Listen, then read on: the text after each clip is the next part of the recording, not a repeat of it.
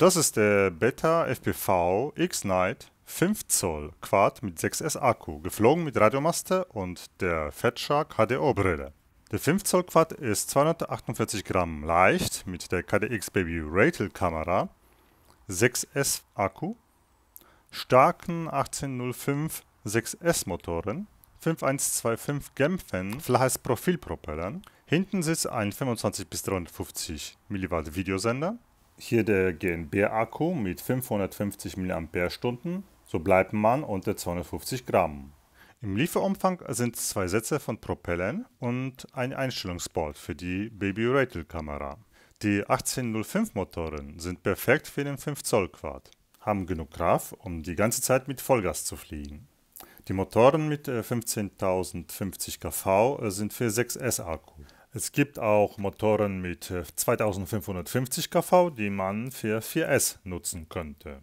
Die Motoren mit 15.050 kV sind super leicht mit 16,22 Gramm inklusive den 10 cm Kabel.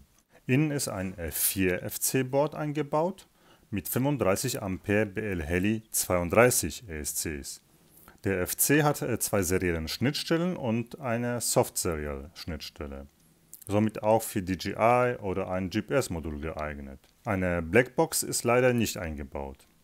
Hinten sitzt der neue Videosender M02, der 25 bis 350 mW stark ist. Der ganze Quad wiegt nur 143 Gramm. Mit dem Tattoo allein 650 mAh 6S Akku leider über 250 Gramm. Aber der 6S GNB Akku mit 550 mAh ist hier der richtige. So bin ich knapp bei 248 Gramm. Hier brauche ich aber einen XT60 auf XT30 Adapter.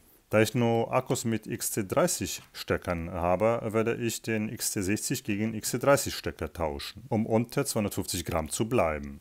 Okay, man kann den Quad mit einem großen 1050 mAh 6S Akku fliegen, aber den finde ich recht schwer und durch das Mehrgewicht fliegt der Quad maximal 30% länger. Hier sieht man noch den 470 Mikrofahrradkondensator, der auf dem XC30-Stecker jetzt angelötet ist. Nun habe ich meinen XC30-Stecker angelötet und bin somit unter 250 Gramm mit dem GNB 6S Akku. Mit dem Tattoo 650 mAh Akku liege ich aber über 256 Gramm. Auf dem R4FC war Betafly 4.2 Firmware installiert, die ich auf 4.2.1 aktualisiert habe. Unter der Konfiguration ist ab Werk bereits das bidirektionale Stayshot-Protokoll aktiv. Somit werden die RPM-Filter genutzt, also Filterung je Motor, was unter Betafly 4.2 wichtig ist. Die PED-Werte sind ab Werk fast gleich wie die Standard-Betafly-Werte. Ich fand bei dem ersten Flug aber etwas zu viel Zittern bei den Rolls und Flips. Das mag vielleicht bei FPV-Racing keine große Rolle spielen, äh, mich hat das aber gestört. So habe ich die P&D auf 1,4 erhöht und weil der Quad äh, so leicht ist, äh, habe ich den Multiplikator runtergesetzt von 1 auf 0,7. Steuerknüppel äh, habe ich erhöht, um eine bessere Stick-Kontrolle zu bekommen. Dann unter Rates habe ich meine Werte eingetragen. Hier fliege ich gerne mit einer flachen Kurve bei niedrigen Drehzahl, um den Quad besser so steuern zu können. Die Filterung habe ich zuerst von 1 auf 1,3 reduziert. Beim Flug auf Sicht merkt man schon gute Beschleunigung von dem leichten Quad. Und der Quad fliegt super, super schnell. Was auch sehr gut ist, die enorm schnelle Reaktion von dem Quad. Da der so leicht ist, kann ich schnell den Quad um 180 Grad drehen und dann wieder Vollgas geben. Die Akkuspannung ist relativ stabil, obwohl ich immer richtig viel Gas gebe. Da hat man wirklich 5 Minuten Spaß und kommt so richtig ins Schwitzen, weil man sich hier enorm konzentrieren muss. Den Quad sollten geübte Piloten fliegen, die Acro-Modus beherrschen. Auf jeden Fall waren nach dem Flug meine Hände so richtig am Zittern von dem Geschwindigkeitsrausch.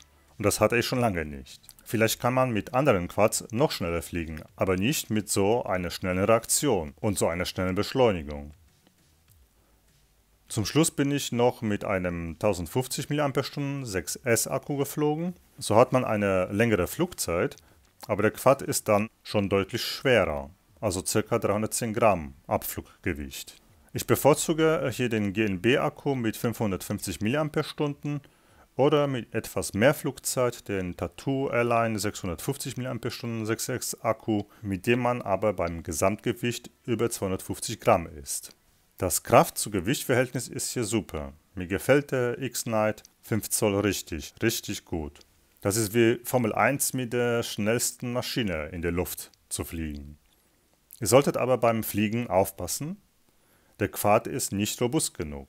Hier ist alles auf wenig Gewicht optimiert. Unsere dünne Arme überleben hier keinen harten Crash. Viel Spaß beim Fliegen!